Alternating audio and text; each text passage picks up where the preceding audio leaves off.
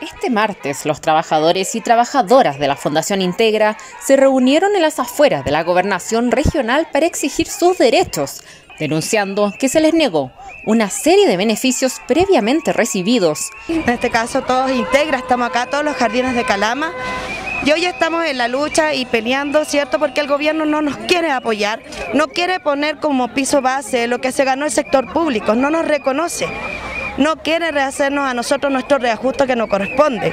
Es más, les voy a leer todo lo que nos quieren quitar, que nosotros hemos ganado con mucho esfuerzo durante todos estos años de lucha con nuestros sindicatos, que son aguinaldo de Navidad, fiestas patrias, bonos de escolaridad, aporte de bienestar, bonos de zona, bonos de ingreso de menores e incremento de líneas de corte para la zona, en su monto, las líneas de corte, cierto de exclusión, y se reajustarán al mismo factor del 6,1 que no nos quieren comer como paso, como piso, perdón.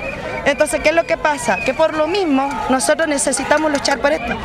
Destacando entre cantos y pancartas el esfuerzo que han realizado durante la pandemia, donde han tenido que redoblar sus esfuerzos e incluso poner en riesgo su propia salud con tal de seguir con la misión que los mueve, educar, viéndose afectados por la falta de reconocimiento y los distintos beneficios que se les habrían negado.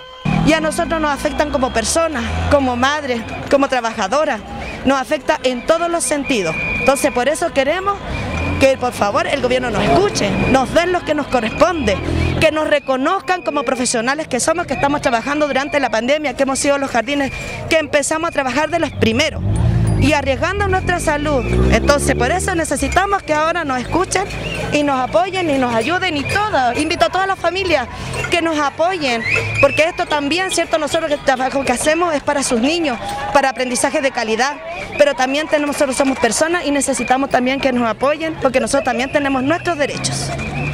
¿Le han dado alguna respuesta desde el gobierno? Hasta el momento ninguna respuesta, nula, cero conversaciones. Ahora nosotros vinimos a entregar una carta, ¿cierto?, con nuestro petitorio acá a la gobernación, pero no nos han querido escuchar el gobierno y espero que nos escuchen, porque nosotras somos las que educamos a niños que son para el futuro y nosotras nos sacamos la mugre trabajando en esto, hemos sacrificado nuestras vidas, todo lo que se llama salud para arriesgarnos en la pandemia a trabajar con niños y niñas y con protocolos bastante escuetos. Y lo hemos hecho y necesitamos dignidad que nos respeten. Eso es lo que necesitamos, que nos respeten en nuestra profesión.